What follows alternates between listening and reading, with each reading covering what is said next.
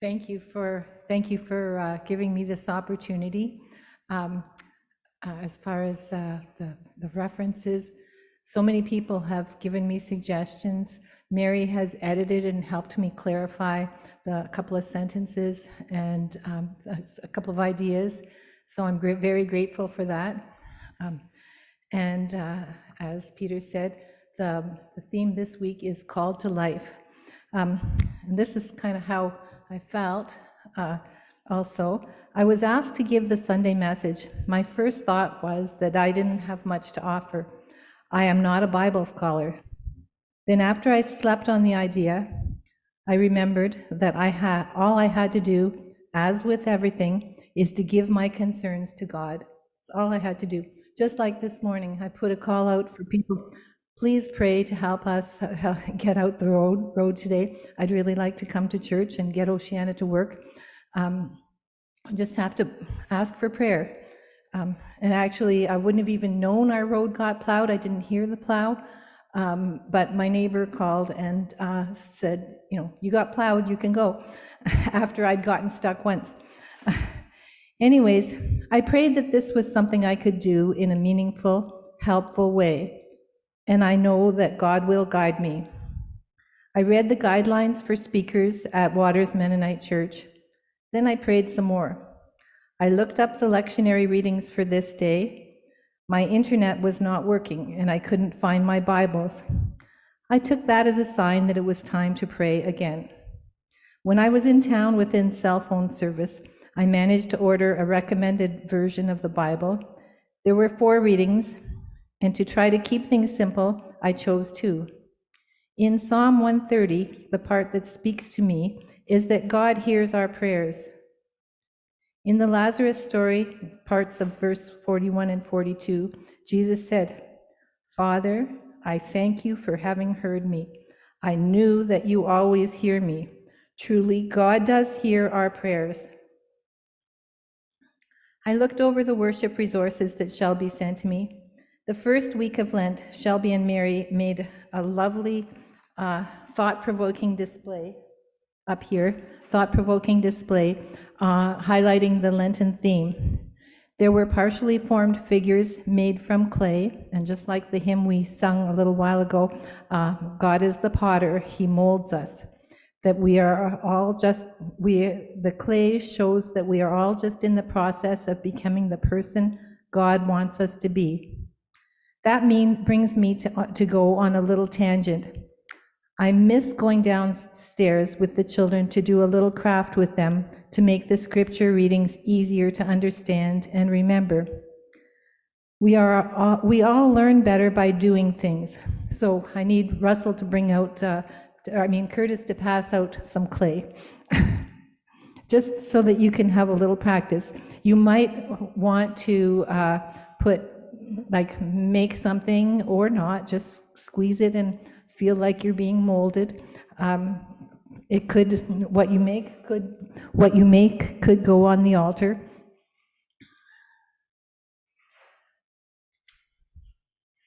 Thanks, Russell. Uh, They, they might be hard to open, but I'm sure someone will help. I was reminded of the direction the Huddle Group is going. They are learning more about how God speaks to us. That is called a prophetic ministry. Before that, there was a study about kairos moments. Those are also the times when God speaks to us or somehow gives us a message about something he wants us to do. For me, kairos moments often happen when a thought pops into my mind to do something. For example, I should phone a certain person. I should pray for a certain person or cause. There is something I should do. To have a kairos experience, we need to be open to hearing God. Then we need to ask God as we pray to come to us.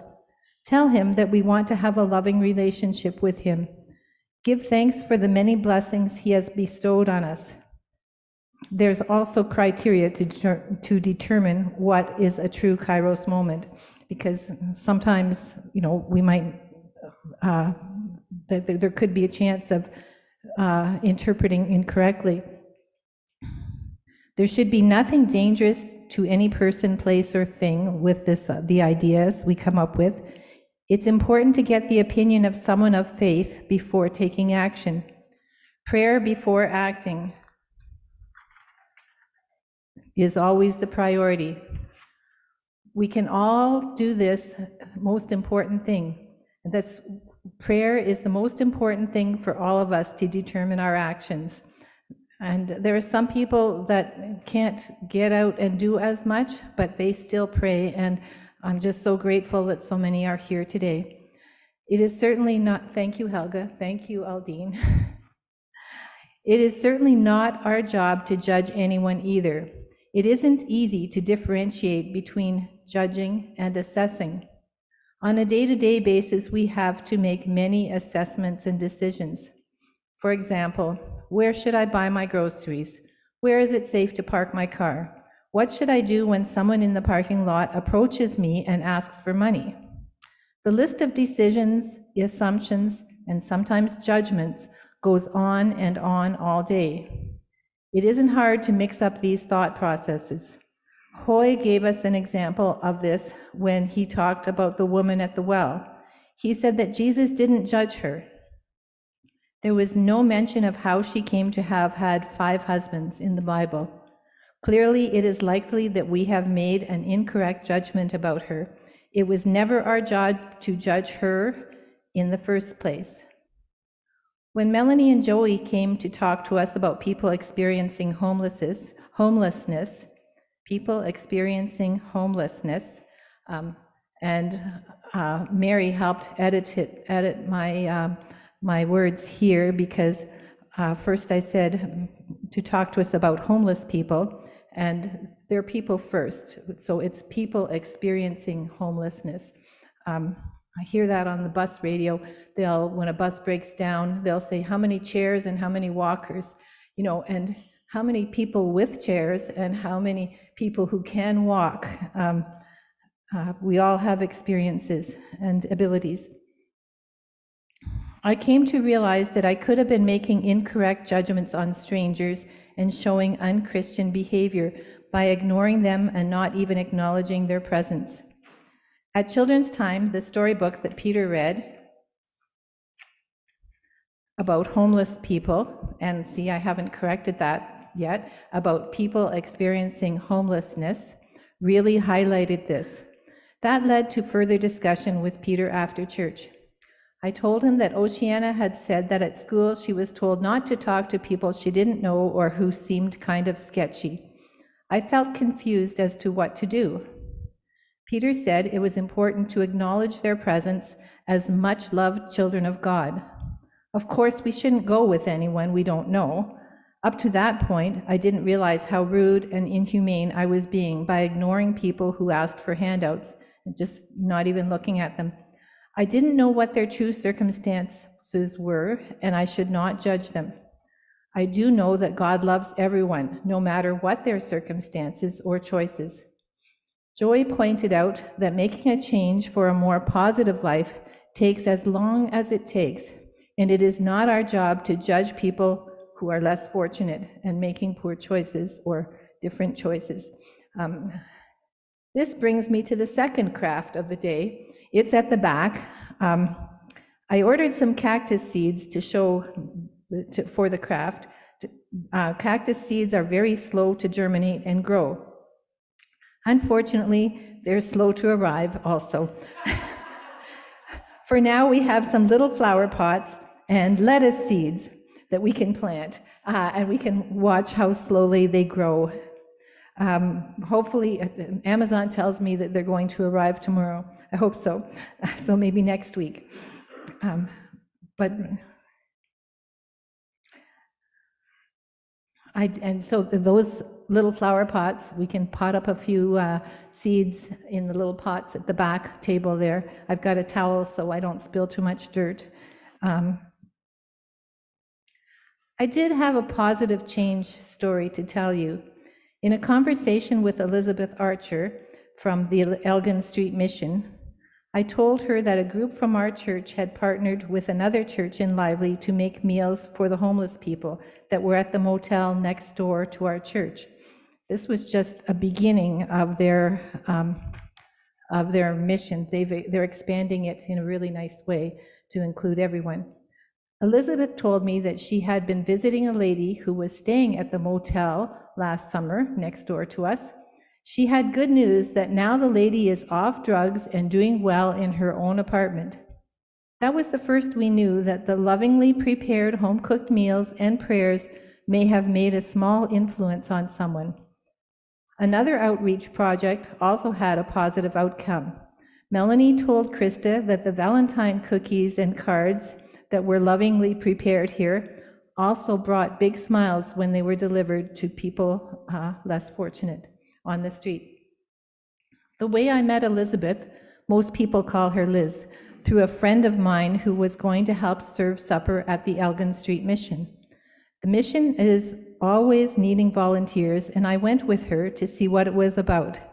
It was a very good experience to meet people, many of whom uh, have are experiencing homelessness and who needed a warm meal, and just like everyone else, needed friendly conversation, love, and respect.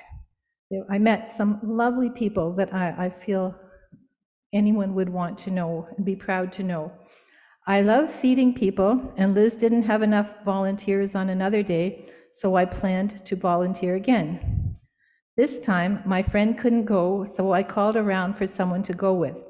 I wasn't too comfortable going alone in that part of town by myself. I needn't have worried about my safety. Katya, Krista, and Strawn offered to come with me. When I couldn't remember where the right door was, because I, uh, I was in my friend's car and I was at the back of the building. Uh, people waiting to eat in line were kind and helpful. Some even said thank you for volunteering. I feel, felt like these people were becoming my friends. It turns out that some of the area churches and businesses volunteer regularly at the Elgin Street Mission or perhaps the Blue Door Cafe. Um, So I'm going back uh, Saturday, April 15th and 29th. If anyone wants to come and help me make a Team Waters, let me know. It could be a way to fulfill the out part of the in, out, up triangle that we heard Art talk about. We, it, it's a way of us getting out of the church and showing our faith. Um, it's only a three hour commitment, once or twice a month. We don't all have to, to volunteer. I hope most of us will pray. The most important thing is to pray for the less fortunate. We can do that wherever we are. I hope that volunteering, always remembering that prayer comes first, is a start on my way to put into action a changed attitude. And that's the theme for Lent, um, is letting God mold us and change, help us grow. Thank you. And uh, afterwards, I'll get the, the pot, flower pots out if anyone wants to bring a little flower pot of lettuce home.